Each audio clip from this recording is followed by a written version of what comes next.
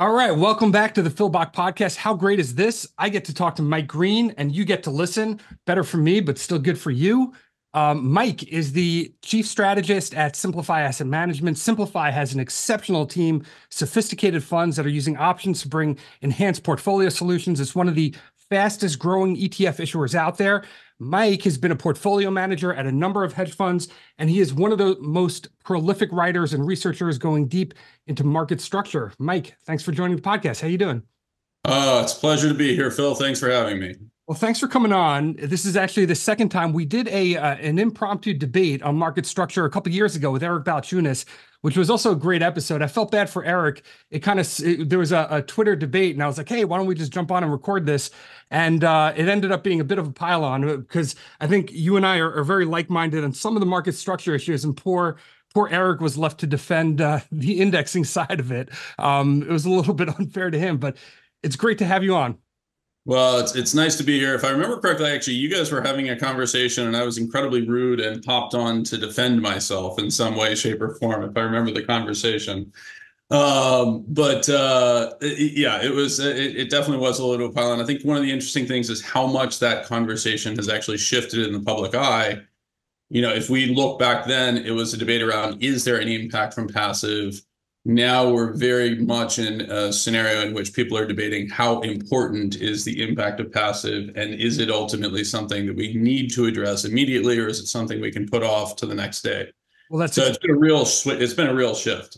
It it, it i mean just it, it's played out exactly as um as we uh, or as you warned and and were concerned and, and you see certain things like like yeah the you know the the passive flows and we'll get into the mechanics of it but the passive flows you know increase the the the rich get richer in the market and the the highest um the highest percentage allocations within passive get bigger and bigger. But then you know the other part of it is you talk about the um the lack of friction due to price setters and you see what happens with Nvidia. You see what happens with meme stocks and, and other, um, you know, other stocks that don't have any friction and just and completely go in. And what, what what's amazing here is as the thesis plays out and and is proven, the complacency of investors just continues also to extrapolate itself and, and to become, you know, investors become more and more complacent. Number goes up. Nobody cares. Nobody gives a shit. Everything is fine. Conventional wisdom is to buy passive funds. Um, so let, let's let's set the table here um, and let's kind of just start from the beginning. So, and and uh, I don't want to, you know, just go over, you know, well-trodden ground already, you know, over and over. But you know, just to kind of for for listeners that aren't aware of your thesis and some of these market structure issues that have been talked about, um, in fact, you know what? I'm sorry, Mike. Let's pause it here. Let, us do this, okay? Because yeah. the better way to set it up is, is, as follows, okay? Yeah, the audience will bear with me. I'm uh, a little rusty. This uh, this this podcast has been kind of stop and start, but I'm trying to keep my podcast muscles from atrophying. Um, and uh, w- what I want to do here is David Einhorn was recently on Barry Ritholtz's podcast, yep. and he talked about you. He gave you credit for really, you know, kind of turning on the light and, and you know, showing him some of these market structure issues, how, how the light bulb went off. What was the conversation that you had? What did you say to David Einhorn, who himself is one of the most brilliant and expert people in the market, to make him see some of these issues? Well, you know, so it's fascinating. If you were to actually turn around and present it that way to David Einhorn, he would immediately downplay his brilliance. But I actually think you know one of the most humble you know individuals that I actually know, um, and incredibly incredibly thoughtful. I think what was so interesting about it was that I think David was actually just you know part part of what I would would say about David's brilliance is actually the fact that he is willing to take in that information, right? So I shared the same presentation with many other investors, most of whom came back and said, "I can't argue with your math right? I can't argue with your analysis. I just kind of have to hope it's not true, right? Guys like Leon Cooperman and others were very resistant to this idea that the market had changed in any meaningful way. David immediately saw something true there. And when confronted with the truth, he changed his process. He suddenly said, look, the way I've historically approached this market is that I work harder.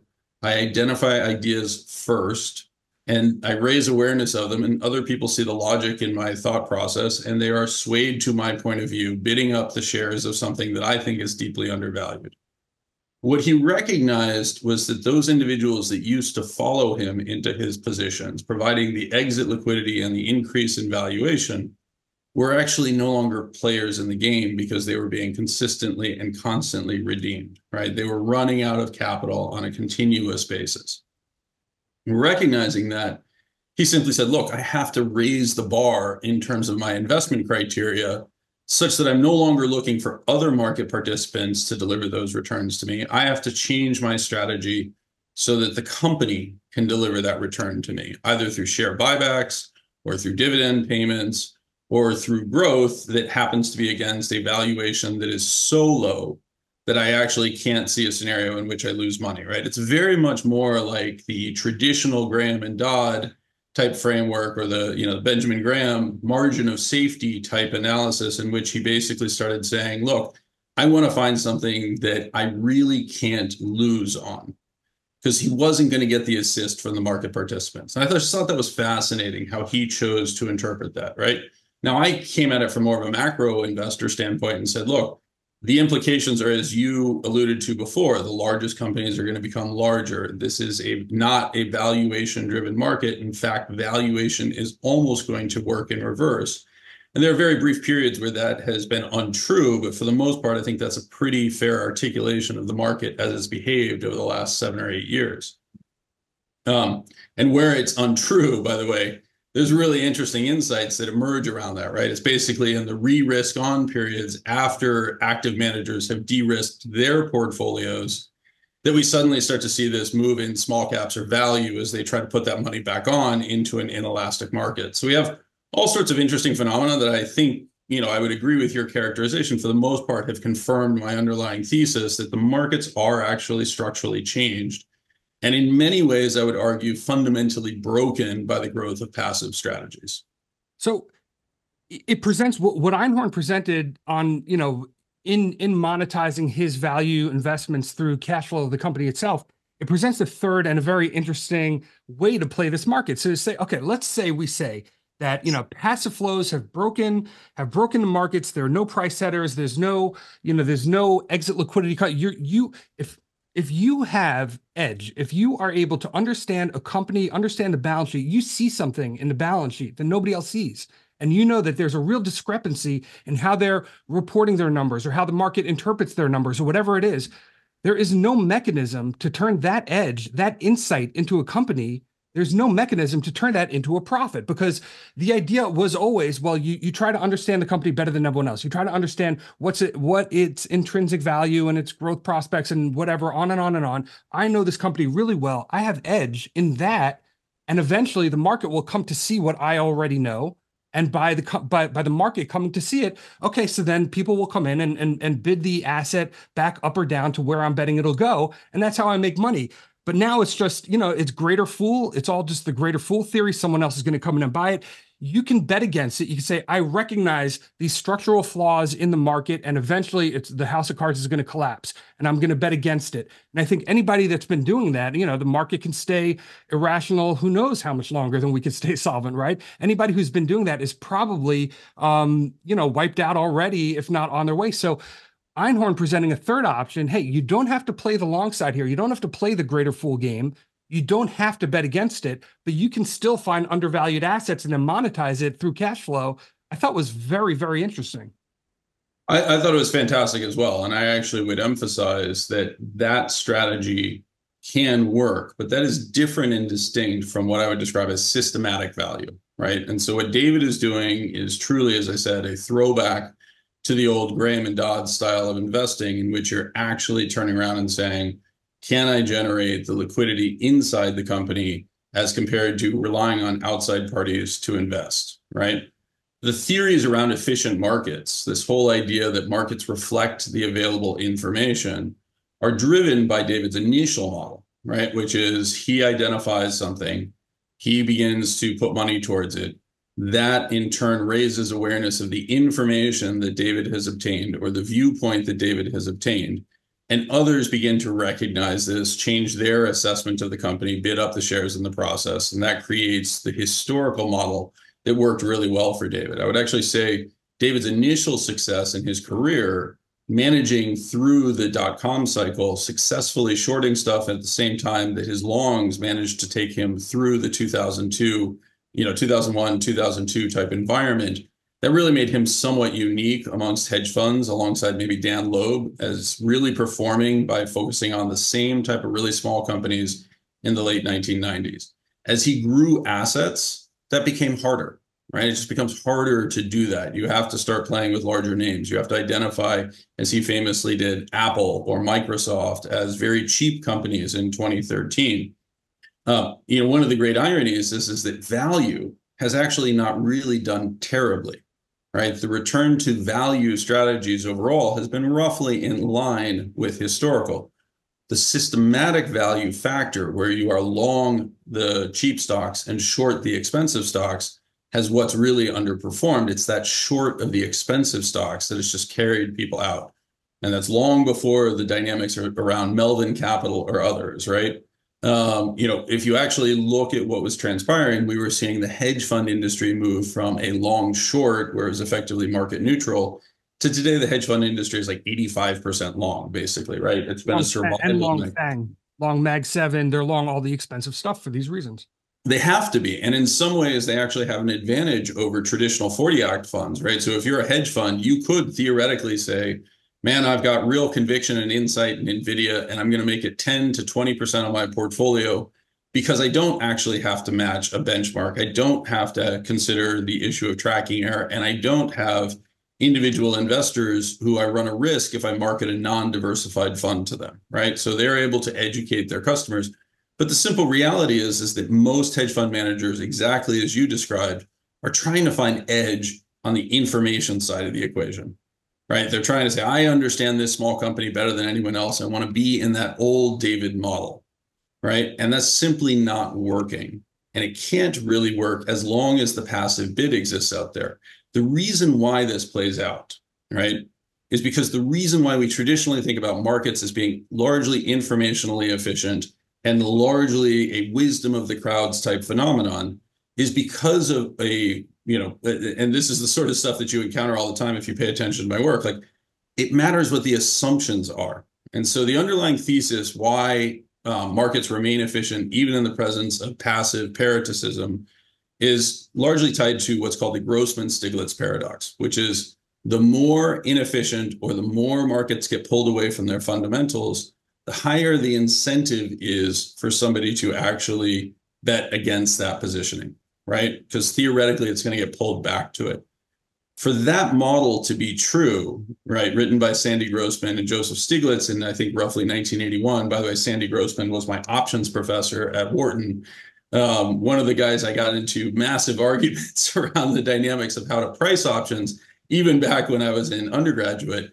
But the the the simple analysis of that model is that it requires the same dynamic as the wisdom of the crowds. It requires basically everybody to get close to one vote, right? So you're familiar with going to the county fair. There's a giant, you know, uh, jar of jelly beans, and if you guess the right number of jelly beans, you're the winner. You get to take home not only the giant jelly bar, jelly bar, you know, uh, jar of jelly beans, but you also get to probably take home a thousand dollars or something, right? And you pay a dollar for the privilege of making this guess.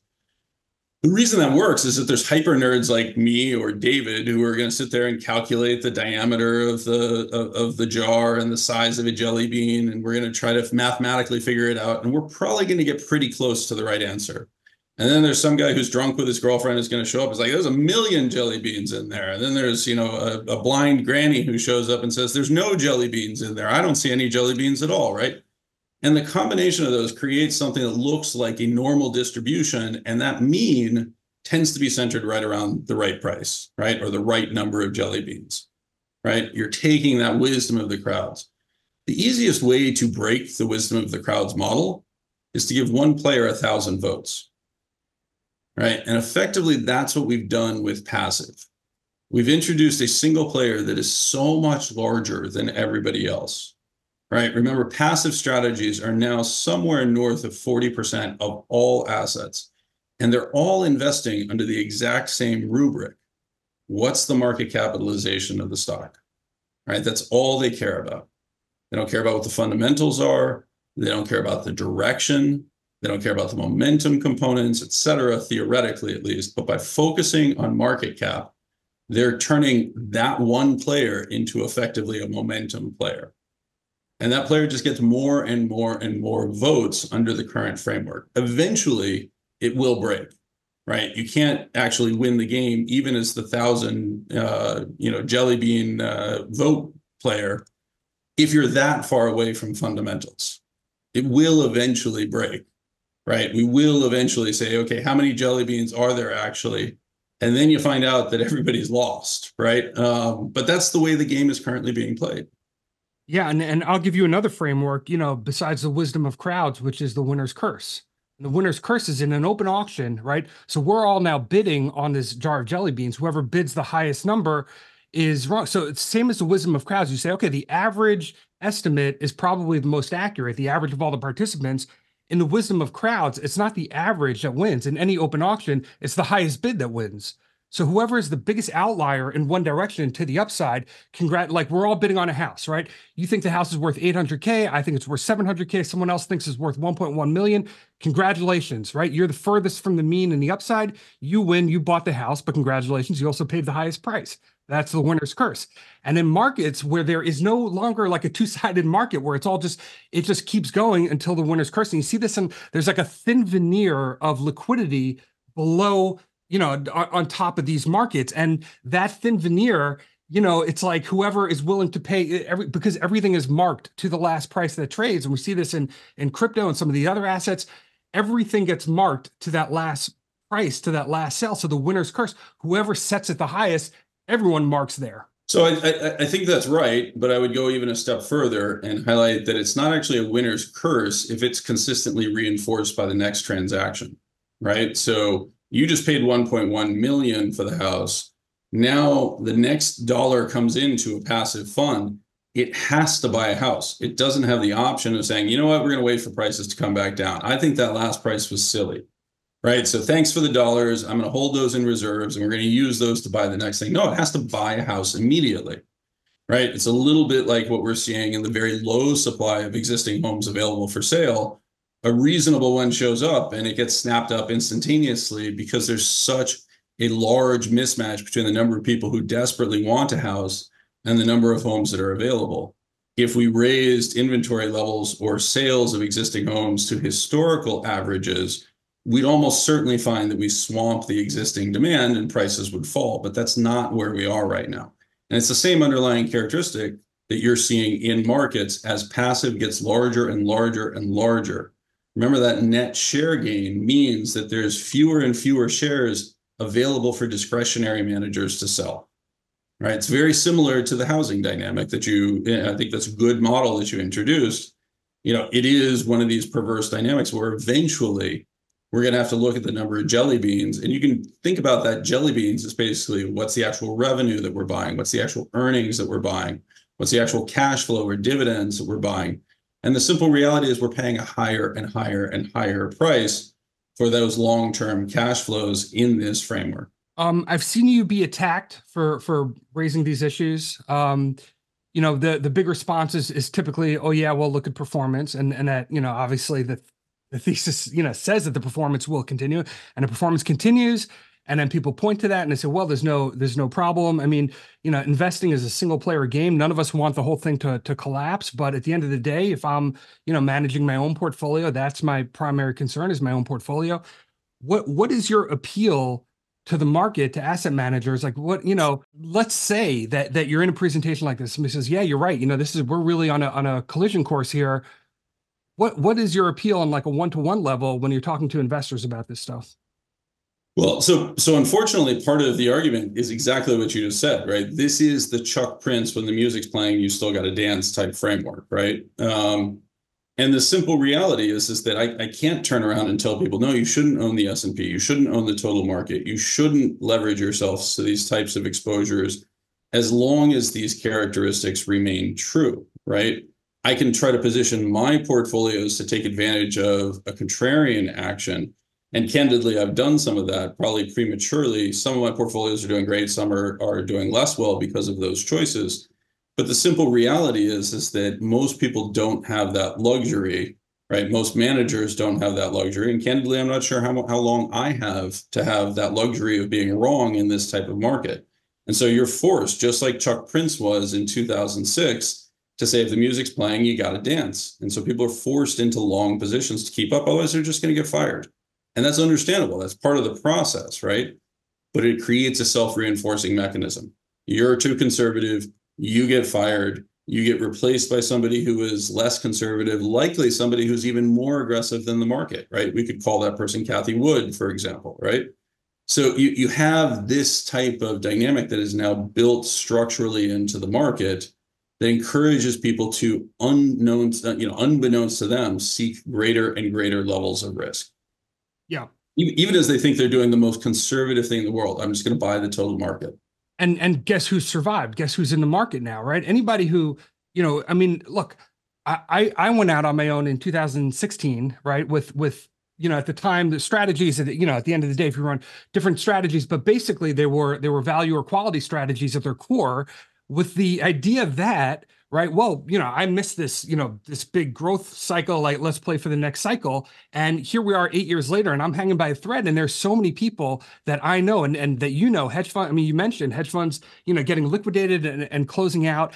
And what you get what you end up with is a market where the the winners the survivors the people who are still you know allocating capital that, that who have succeeded and flourished are those that are um, you know th- that are willing to take the most amount of risk that are willing to just blindly, you know, trust the, um, you know, if not cap weight on profitable tech, all these trends that these trends are just going to extrapolate forever on an indefinite time horizon. Um, and and again, yet another thing that that exacerbates the problem because then there is nobody taking the other side of the trade. There's nobody left to take the other side of the trade. Yeah, I mean that's the underlying dynamics of liquidity provision, right? And so this is the source of John Bogle's observation that if everybody indexed, the markets would fail, right? Um, the simple math is is that cash has to be held within the market by somebody, right? Cash facilitates the buying and selling of assets without having to sell to somebody else. If everybody's fully invested all the time we can kind of trade back and forth, but there's really actually, ironically, no asset that allows me to do that, right? Because I go to sell my Microsoft to buy Kohl's department stores. Somebody has to have cash to buy that Microsoft first before I can turn around and buy the Kohl's, right? Um, that cash is being depleted in the market by the growth of passive. I've shared this in other presentations if I look at the world's largest actively managed fund, it remains the Fidelity Contrafund. It's about $100 billion in assets. It's currently carrying about $2.5 billion worth of cash. That cash creates optionality. It allows it to buy a stock without selling something. It allows it to meet a redemption without selling something. It allows somebody at Vanguard or elsewhere to exit if they need to because uh, Fidelity Contra can show up and buy without having to sell something, right? Unless somebody has cash, the markets actually can't function. When you think about surveys like um, the flow shows from Michael Hartnett that looks at things like the level of cash and responses in surveys, we pay attention to that because we recognize that high levels of cash means that there's lots of optionality to buy, less optionality to sell. The problem is those types of surveys don't capture the passive investors who simply don't respond to the surveys. It's like the low response rates coming back for the BLS. They don't really exist. And in contrast to that Fidelity Contra at 2.5% cash, I look at the world's largest passive vehicle, right, the Vanguard Total Market Index, it's somewhere around $1.6 trillion, carrying about $80 million of cash. $80 million, not billion, $80 million of cash. There is no mechanism that allows that to obtain liquidity and candidly, we're just incredibly lucky that complexes like that have continued to see inflows of capital, which perversely provides a ton of liquidity to the market. That cash must be invested right away. And so while everyone's searching around for the liquidity from is it coming from the Federal Reserve? Is it coming from the Treasury, et cetera? We're missing one of these key sources of liquidity, which is simply replacing managers that hold cash with managers that are actually illegal. It's against their fiduciary responsibility to hold cash. They have to put money to work. That's a key source of liquidity that I think very few people pay attention to. We've seen the uh, index funds absorb uh, a lot of the meme stock uh, liquidity, right? Yeah. Talk about this, but we've seen that. Um, if you consider Tesla meme stock, certainly uh, large cap has, but but even AMC and GME were the top. Uh, I think two of the top four weights at one point of the Russell two at the peak of the meme stock raise. we're seeing index inclusions be front run before they're added to the index. Is that the play? Is the play to just run things up here and, and dump it on on the cap weight crowd who I mean, belligerently doesn't care. They they just it's it's incredible that you know two basis points of expense ratio matter so much, but twenty basis points of drag because they you know got stuck buying meme stocks at, at the top. That oh, that's what the market priced it, uh, you know, and and there's no. um well, if, if that were evidence in performance, I think we'd all agree that we wouldn't want to pay two basis points and give up, you know, save save by paying only two basis points and give up 20 basis points of drag. But the simple reality is there's no evidence that that's true, right? That's a hypothesis, and we are all pointing to the fact that they're buying things after they've gone up so much. Super micro is the obvious one that we're dealing with on a topical basis right now, where it's become by far the largest stock in the history of the Russell 2000. It's going to remain in the Russell 2000 until the June rebalancing, even as it's added to the S&P in about 10 days, right? So we're actually watching those who want to replicate the S&P be forced to stockpile super micro like toilet paper in March 2020, right? They're, they're basically forced to say, okay, get me some because I'm not sure how much I'm going to be able to get immediately afterwards. And that in turn may actually cause me to underperform and create drag because I don't have the name, right? They don't care about the performance per se. They care about tracking error, right? And everybody knows that they're able to front run it. It is an, absolutely a form of stock price manipulation. But it's completely fair in love and war to turn around and say, it's been publicly announced that this thing's going into the S&P. I have a hypothesis that when it goes into the S&P, it's going to go up. Therefore, I'm going to drive it higher. Oh, by the way, if I actually see see something that might go into the S&P, that might hit these criteria by buying low delta call options, I increase the probability of that event occurring. By increasing the probability of that event occurring, I raise the price of the stock that in turn drives my low delta options into higher delta options, forcing both market makers to buy and increasing my exposure. This is a win win win, right? From a pure market win sort of behavior, right? We've created rules that now encourage speculation as compared to actual analysis, fundamental analysis, right? The system is built around price response. And that's most dramatically exposed in things like Bitcoin, where it's like, look, number go up. That's all we care about, right? That's really what matters. And if number goes up high enough, then they'll be forced to recognize us. There was a brilliant podcast that just came out from Demetri Kofinas in which he was interviewing a young man who was highlighting the, the requirement that we increasingly turn to the old myths to explain the world that we inhabit. Right. And I loved this podcast. I thought it was so profound and so powerful because what he's highlighting is we are now approaching that point where for the vast majority of individuals, the world that we inhabit is largely indistinguishable from magic, right? We pick up a phone in the morning, we look at it, and it's a magic box filled with calculations and information and communications that are largely designed to eh, capture our attention, right? It's a little bit like, you know, Gandalf the Grey is sitting by our bedside, not nearly as imposing or frightening, right? But we pick it up and it holds all the secrets to the world in it, right? including you know pedophilic uh, pizza rings in the Virginia area, and you know 4chan that we can dig into, and insights on Putin, and the latest meme stock craze that's going to make me very wealthy, right? Which I can buy in a gamified format with a you know exploding present that and confetti that says congratulations you bought, right? That's the world of our forebears, right? That's the world in which why does the sun rise in the east? Well, there's this handsome young god who drives a golden chariot and it goes across the sky, right?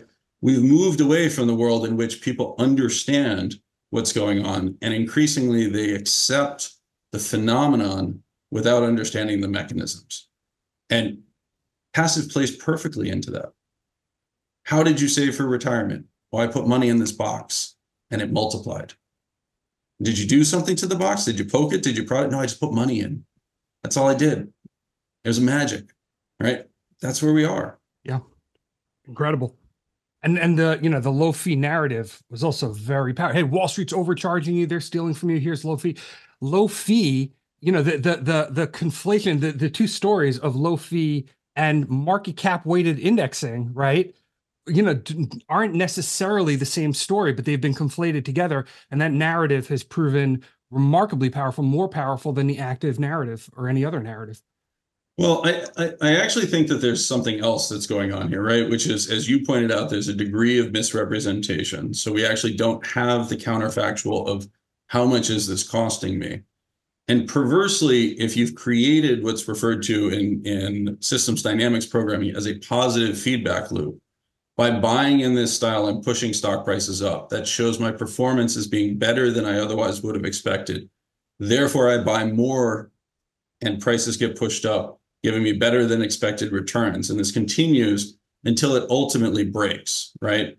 That type of system, what I've described as driving uphill with no brakes, there's no real mechanism for somebody to say, hey, be careful, right? This is not safe.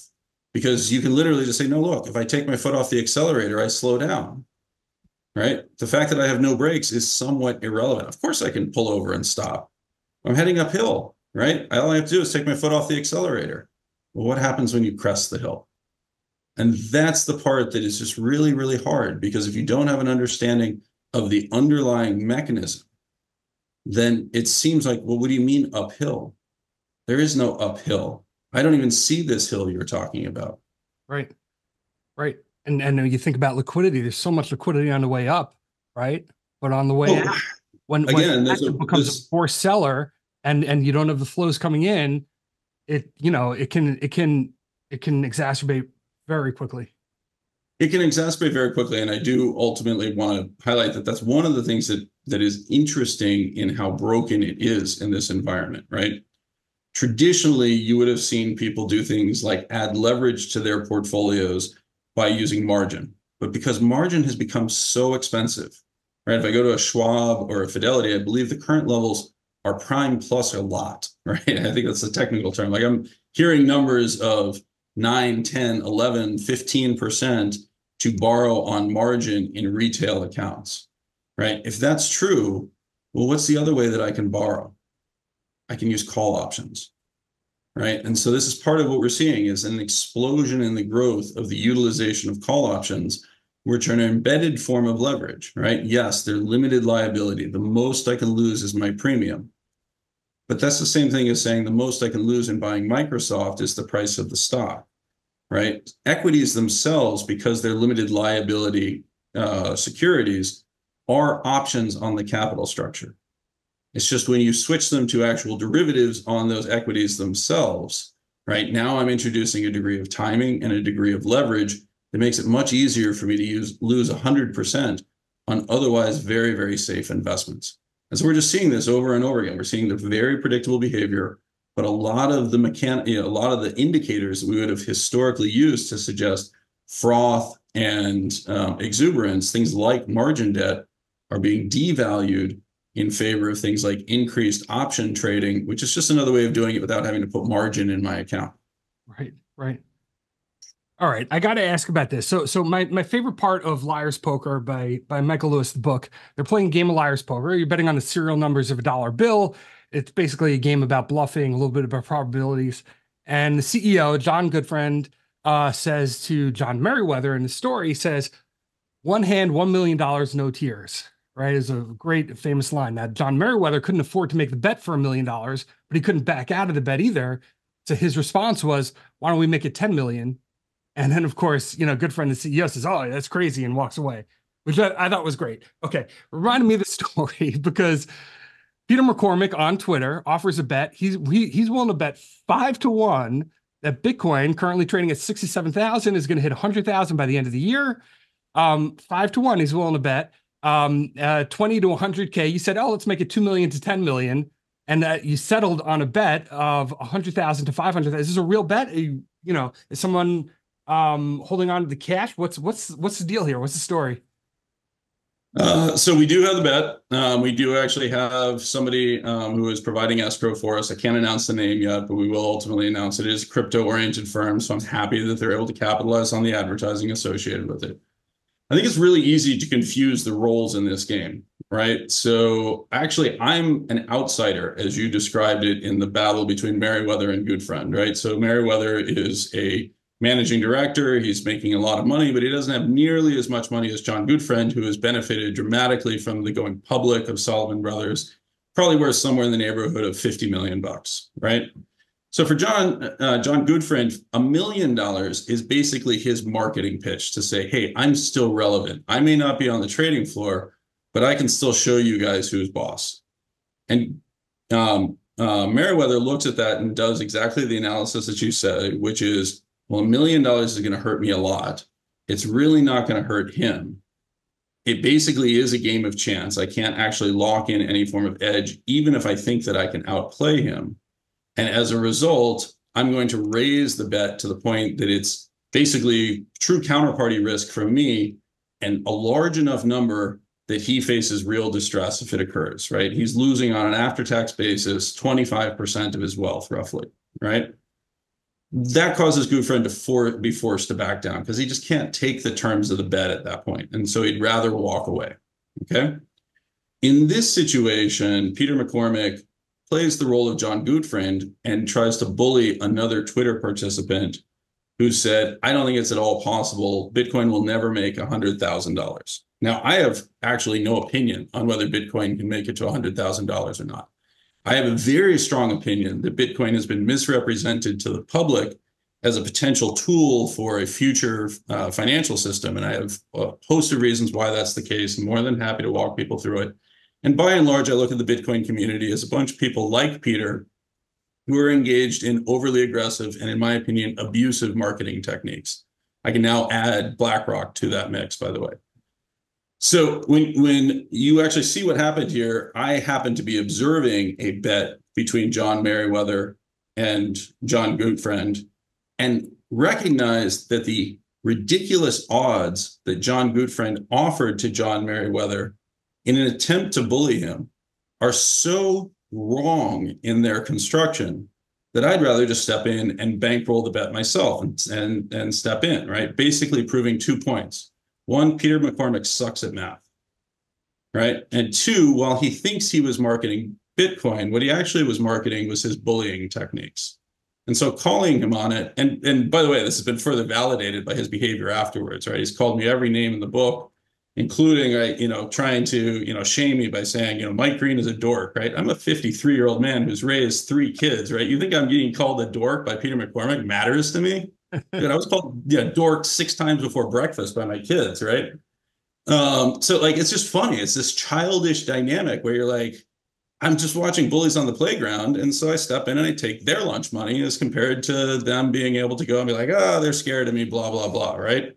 That's literally all that happened. He gave such unattractive odds or such attractive odds that I don't care. I actually make more money if Bitcoin goes up than I do if it goes down, right? It was just a terrible bet. And in my opinion, it's much more about exposing the it's just math crowd doesn't know how to do math. That's fantastic. That's fantastic. Um, tell us a little bit about your uh, credit spreads theory and uh, CDX ETF. Sure. So, look, the underlying thesis that I'm applying to the credit market is credit risk is traditionally thought of in the context of spreads, right? So, the difference between the risk free rate and the credit rate. That's traditionally what has signaled potential risk in both credit markets for corporates and for households. We've really never had a condition under which interest rates have been hiked so rapidly, right? And we're seeing this in metrics like if I look at personal interest expense, excluding mortgages, which are largely locked in, and the quantity of mortgages really haven't changed very much. So the interest rate is not changing on mortgages, but it is on everything else. We're seeing that personal interest expense rise at the fastest rates in history. And particularly if we apply that to things like the median household income, we're now at levels that it's candidly just unsustainable, right? You can meet an unexpected increase of 3% in your household expenses in your first year of that occurring by drawing down savings. You can't do that in the second year right? And so now we're actually approaching these breaking points. We see this in corporations that are incapable of refinancing, not because credit spreads are wide, but because the risk free rate is so high. They're watching their interest rate expense explode. They simply can't afford to do it. We see this in the lack of issuance in the high yield space, even though we're seeing an extra, you know, it's perceived to be an extraordinary loose financial conditions environment. The only other times we've seen things like this play out have been the lead into the global financial crisis, et cetera. The, the risk indicators, I would argue, are largely broken.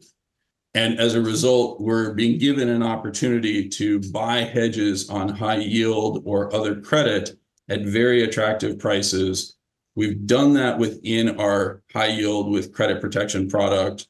Um, and that actually has been a fantastic performer, even as credit spreads have not widened as much as we would have anticipated. If they widen further from this point, my expectation is that that product will not only allow us to capture the higher yields, but also benefit from the widening of credit spreads. It's currently slightly overhedged in this framework. But again, the only other times we've seen stuff like this have been lead-ins to major credit events as we suddenly discover that people are incapable of servicing this debt. Yeah, and and you know, I, I don't know if we have time. I mean, I've got enough questions here. We could probably go for for eight or ten hours here. I mean, this is but you know, everyone had been talking about zombie companies, and if rates ever rise, how are these zombie companies where the debt service is higher than earnings? How are they ever going to refinance and survive? And that there would be a coming wave of of defaults. We haven't seen it yet, but it, you know, it just seems like that whole conversation has kind of disappeared. Um, well, I, I think it's disappeared because there's two components to it. First of all, recognize like when we talk about you know all these zombie companies and that they were going, there was going to be a credit event. We're watching banks fail again I mean, like it's not like this is not actually playing through. We're seeing an increase. There's been another uptick in bankruptcies once we've entered 2024. We're moving right back up to the elevated levels that we had in parts of 2023. So, you know, we're looking at conditions in which I actually think the events are occurring. We just are somewhat blind to it for a variety of reasons, right? Um, you know that that doesn't mean it's not going to occur. That doesn't mean it is going to occur but it is actually an empirical statement that we're seeing an increase in bankruptcies. We're seeing an increase in delinquencies. We're seeing an increase in severity of write-offs. We're seeing cre slowly start to fall apart as the you know uh, back to office moment has passed and we really are not seeing it play out right? The retail space the commercial real, real estate space that is dominated by retail and the tenant locations within offices Walk through New York City, count the number of empty storefronts. It's a disaster, right? And so we actually know this. And the irony is, is because of other features that are built into the market, in particular the lagging nature of things like owner's equivalent rent, our policymakers are largely trapped in an environment in which they think inflation has remained persistent, even as current metrics, things that exclude things like owner's equivalent rent, and actually I think are quite powerful products, things like Truflation or the Cleveland Fed's new tenant rent index. These are all indicating significant deflationary conditions directly ahead of us. Hmm. Ticker is CDX. Mike is also the portfolio manager on FAG, FIG, FIG, the uh, the macro fund. Um, tons of amazing products, very cool products. It's simplified.us is a simplify website. Uh, it is Simplify Asset Management. So it's uh, www.simplify.us is the website. And yes, I would encourage people to check out both the products and the content. We try to spend a lot of time educating people. Simplify is an ETF firm that was launched in September of 2020 in response to regulatory changes that allowed the inclusion of traditional hedge fund like strategies in ETFs. And so we offer a number of strategies that I would argue are uncorrelated to traditional risk assets part of our objective is to raise awareness for people that these can be obtained without dealing all the tax hassles, filing, reporting, and uh, filing requirements, et cetera, associated with the traditional hedge fund industry. And liquidity, right? You can get your money out. You don't have to sit there and wait. Uh, sometimes months. The the hedge fund structure is. Uh, well, ho- hopefully, that's not what your objective is, but I think far more powerful. I'll tell, tell people candidly: if you've ever been an investor in hedge funds, there's this wonderful thing called a K one that tends to show up late right, complicates your taxes and probably means that you're not actually receiving particularly good value. Um, we've largely dispensed with that. You're not going to see K1s, et cetera. And I think, honestly, like people have asked me, why did you transition over to the ETF space? The answer is really straightforward. It solves problems for the majority of investors that want to pursue these types of strategies. And I'm seeing more and more hedge funds start to explore doing the same, doing the same fortunately, I feel like we've gotten a first mover advantage. I hope we continue to capitalize it, capitalize on it. Yep. Uh, um, Professor Plum on Twitter. Yes, I give a fig on Substack, which is hysterical. Uh, reference to the fig ETF. Um, thanks, Mike. Man, thanks for coming on. I, I, I, don't know, man. This is you know, it's it's a little scary, but I think um, you know, uncertainty and and and volatility and whatever might be coming it all creates opportunity and opportunity for people to get out in front of it and hedge themselves and be in the right products that are going to you know that are going to survive in in any market environment not just the one that we've had since the global financial crisis but the one that may be coming. I hope you're right. All right. Thank you. Thank you phil